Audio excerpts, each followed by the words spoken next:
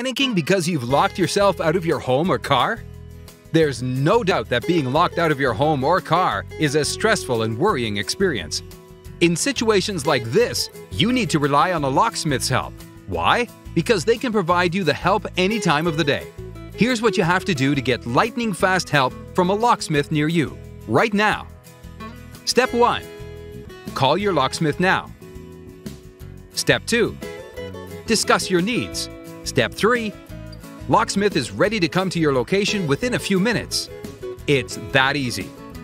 To get in touch with the best local 24 hour keymaker near your area,